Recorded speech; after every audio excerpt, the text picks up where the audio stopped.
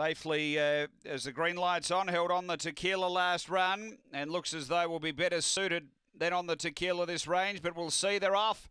Uh, Spring Harbour hopped out sweetly. He's going to dive over and grab the front on the tequila in a bit of trouble early. And the fave, Spring Harbour away. Out by two on speed limit and four or five away, Midnight Tracker. Uh, they were followed by Irwin Bale, Wayland Bale, and out the back on the tequila. They race to the back and Spring Harbour. Out by two to speed limit, two to Midnight Tracker. Six away came Irwin Bale, Wayland Bale. Uh, then on the tequila, but running Spring Harbour. Out by three or four here, the fave over speed limit, Midnight Tracker. It's all Spring Harbour down the running, well backed in the opener and walks in. Uh, Spring Harbour first, second Midnight Tracker, third speed limit. Uh, then came Irwin Bale, Wayland Bale, and on the tequila. Time here, uh, we stand by. It's uh, around 34 seconds in that bracket, 33.99. So it's a big run after uh, race number one.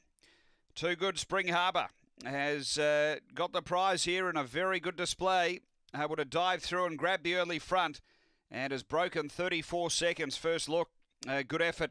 Two Midnight Tracker for Jack Trengove second and third to one speed limit uh, for Colin Swain. So numbers are four, two, one, seven fourth after Angle Park, race one.